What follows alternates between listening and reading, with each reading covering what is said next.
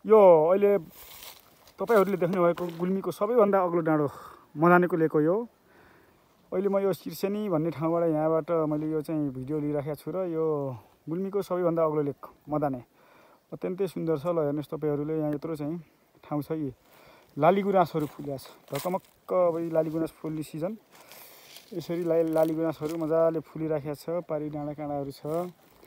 ल हेर्नुहोस् यसरी चाहिँ हामीहरू यहाँ अब यसो यो डाँडा काँडा चाहिँ अध्ययन गर्नलाई आएको यी ल हेर्नुहोस्। यति रमाइलो छ यति रमणीय ठाउँ छ। तपाईँले यतातिर देख्नुहुन्छ यहाँबाट सिधै तपाईँले चाहिँ तम्घास यो बागलुङको विभिन्न ठाउँहरू पनि यो साइडबाट देख्न सक्नुहुन्छ तपाईँले। ल हेर्नुहोस् एकदमै चाहिँ सुन्दर छ। यहाँबाट म तपाईँलाई देखाउँछु है हेर्न हेर्नलाई। यहाँबाट बागलुङसम्म होइन तपाईँको तम्घासका ल हेर्नुहोस्। यो पारि चाहिँ तपाईँहरूले यो बागलुङ हिमालहरू। देख्नु भएको छ। र यतापट्टि तपाईँले यहाँबाट यी अलिअलि अहिले कुहिरो लागेको अवस्था त छ।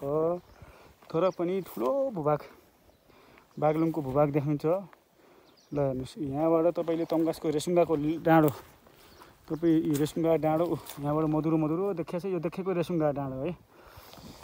यसरी चाहिँ मदाने चाहिँ देखियो। अरिबाट हामीले यो भिडियो लिइराखेका छौँ। एकदम सुन्दर। ल हेर्नुहोस्।